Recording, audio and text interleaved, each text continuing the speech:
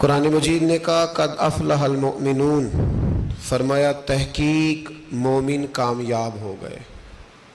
कौन से मोमिन कामयाब हुए? अल्लजीना हम फ़ी सलातिहिम खाशियून वो मोमिन कामयाब हुए जो अपनी नमाज़ों में खुशू करते हैं, अपनी नमाज़ों में आजजी का मुजाहरा करते हैं, वो मोमिन कामयाब हुए। अल्लजीना हम फ़ी सलातिहिम खाशियून वो लोग जिनकी नमाज़ों में आजजी है, जो गिड़गिड़ाते वो मोमिन कामयाब। खुशबू का मतलब होता है दिल का लगना।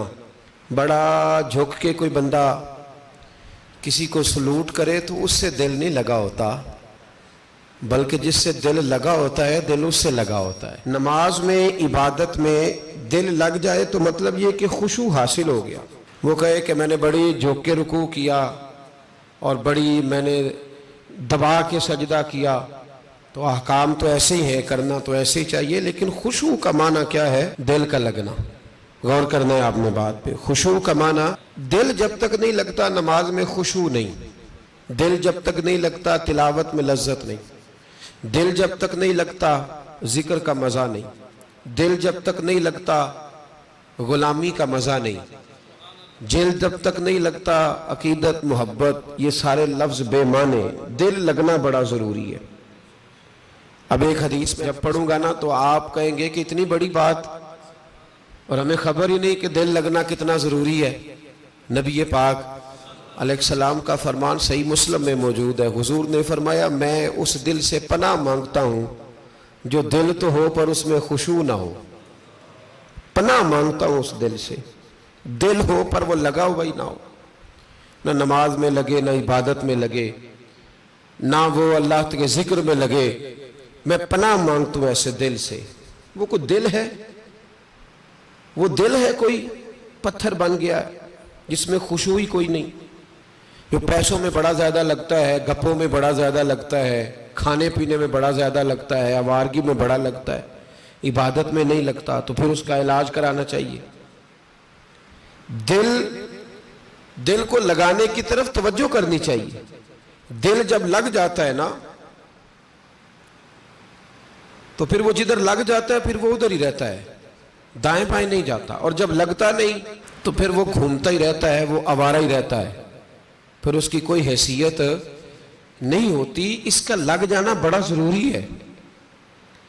इस दिल को अल्लाह और उसके रसूल के रस्ते में लगा देना, ये बड़ा अहम और बड़ा ज़रूरी अमर है।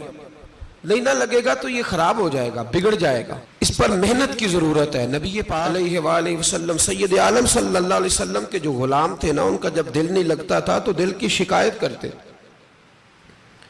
एक सियाबी ने अर्ज़ की, हजूर, मेरा दिल सख्त हो गया। नरम ही नहीं होता। तो महबूब सलाम ने फरमाया, तू यतीम के सर पे हाथ फेरा कर, अल्लाह तेरे दिल को नरमी अता कर दे। तू किसी यतीम के सर पे, तेरा दिल लग जाएगा, इसमें नरमी आएगी। यतीम के सर पे तू हाथ रखेगा ना, जिसका बाप फौत हो गया, उसके सर पे तू हाथ रख, अल्लाह तेरे दिल में नरमी पैदा करेगा। महबूब ने बयान किया। हज़रत जनाब सैदना सिर्री सख्ती रहमत फरमाते, मेरा दिल सख्त हो गया था, मैं बड़ा परेशान रहता था। हज़रत मारूफ करखी रहमत की बारगाह में कई दफ़ा अर्ज़ की। मैंने कहा, बाबा, मैं इसका क्या करूँ? ये सख्त हो गया। महीनों हो गए, ये अल्लाह के खौफ में नहीं रोया। सालों बीत गए, हुजूर की नाद सुन के नहीं रोया। अब तो कितना वक्त गुजर गया है, इसे मदीने जाने के लिए भी रोना नहीं आता। हुजूर, ये सख्त हो गया है। कोई रहमत की नज़र हो। खुशकी सी आ गई है। अजीब सी मैल चढ़ गई है। फरमाते, कई दफ़ा मैंने ख्वाहिश का इजहार किया। एक दिन ना, ईद का दिन था तो हज़रत मारूफ करखी ने एक छोटा सा बच्चा, छोटा सा बच्चा उंगली के साथ लगाया हुआ था तो हज़रत आ रहे थे तो मैंने कहा, हुजूर, आप किधर से आ रहे हैं? ये बच्चा कौन है? फरमाने लगे, यतीम है। सारे बच्चे ईद वाले दिन अखरोट के साथ खेल रहे थे, बेचारे के पास अखरोट कोई नहीं। तो हुजूर, आप क्या करेंगे? तो हज़रत मारूफ करखी कहने लगे, पैसे तो मेरे पास भी कोई नहीं। अखरोट खरीद के देने के, मैं यहाँ से खजूरों की गुठलियाँ चुनूँगा, वो गुठलियाँ बाज़ार में बिक जाती हैं। मैं ये गलियों से गुठलियाँ चुनूँगा। और चुन के मैं कहीं बेचूँगा। और जब मैं उन्हें बेचूँगा तो फिर यतीम के लिए दो चार अखरोट खरीदने के काबिल होऊँगा। फिर मैं इसे अखरोट खरीद के दूँगा। पता नहीं कहाँ की बात सुना रहा हूँ मैं आपको। और पता नहीं कहाँ का ज़िक्र कर रहे हैं बाबा जी। बच्चा यतीम है। बच्चे अखरोट से खेल रहे थे, इसके पास अखरोट कोई नहीं। बाबा, आज का पीर तो मार्फत की बात करता है, तू यतीम के लिए गुठनियाँ चुनने चला है। आज का पीर तो कहता है, मैं एसी वाले कमरे में बैठ के तुम्हें बड़ा अर्श के उला की बात बताऊँगा, यतीम के लिए गुठलियाँ चुनना, मदरसे के तलबा की नौकरी करना, यतीमों का, गरीबों का, इन मजबूरों का ख्याल करना, ये तो रिवाज ही नहीं है आज का। बाबा, तू क्या कहानी सुना रहा है? तो हज़रत मारूफ करके कहने लगे, गुठलियाँ चुनूँगा, फिर उन्हें बेचूँगा, फिर जब कुछ पैसे मिलेंगे ना तो मैं इसे अखरोट खरीद के दूँगा और फरमाने लगे, जब ये अखरोट से खेल कर हंसेगा ना तो अल्लाह मेरे दिल को सुकून अता फरमाएगा। मैं गुठलियाँ चुनने जा रहा हूँ। मैं मजदूरी करने, तेरी तलाश में फिरा, मैं जंगल, पहाड़ और दश्त में। तो हज़रत श्री सख्ती फरमाते हैं, मेरे घर में पैसे थे। मैंने कहा, हजूर, अगर ये नौकरी मुझे मिल जाए तो मैं गुलाम जो हुआ। अगर मुझे दे दे ये नौकरी तो मैं ना कर लू। फरमाने लगे, तू कर ले। फरमाते, मैं उस यतीम को पहले घर ले गया, वहाँ से मैंने पैसे लिए, फिर बाज़ार ले गया, कपड़े खरीदे, उसके लिए टोपी खरीदी, फिर मैंने उसे दो खजूरें खिलाई, फिर अखरोट खरीद के दिए। हज़रत सैदना मारूफ करखी कहते हैं, उसको मैंने चीज़ें दे के ना, वो बच्चा था, बच्चे बच्चे ही होते हैं। मैंने जब उसे अखरोट दिए तो वो दौड़ने लगा, मैं भी हल्का हल्का पीछे चलने लगा। फरमाते हैं, वो जाके बच्चों के गिरोह में मिल गया वहाँ दर्जनों, बीसियों बच्चे खेल रहे थे, वो मिल गया, वो खेलता रहा। आप फरमाते, लोगों, उस दिन मेरे रब ने मेरे दिल को अपने कुर्ब की लज्जत भी अता की, और मेरा दिल था मेरे सीने पर, सारी रात था मेरे सीने में मेरा दिल, पर सारी रात मेरे नबी के कदमों का तवाफ करता रहा है। अब ना लग गया है, पाक होवे ते पाक भी मिलता है। ये बिना पाको पाक नहीं मिलता सादे वजूद ਨੂੰ ਧੋਣ ਦੇ ਨਾਲੋਂ ਇੱਕੋ ਧੋਲਾ ਟੁਕੜਾ ਦਿਲ ਦਾ ये दिल में खुशू पैदा हो जाए ना खुशू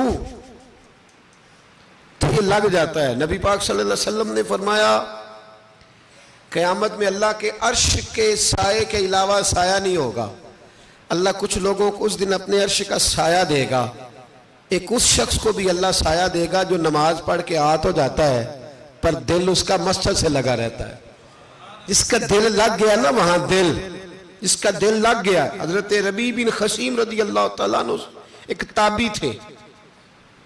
वो कहते मेरे किसी ने दिल में बात डाल दी कि बस दिल में डाल दी कि नज़रें झुका के रखनी है। बस किसी ने दिल में बात कि नज़रें झुका के रखनी है। बीस साल वो आते रहे हज़रत अब्दुल्ला इबन मसूद के घर। तो नज़रें इस तरह झुका के रखते थे जब दरवाजे पे दस्तक देते थे ना तो हज़रत अब्दुल्ला इबन मसूद की कनीज देखने जाती तो कहती थी, हजूर, वो आपका नाबीना दोस्त नहीं?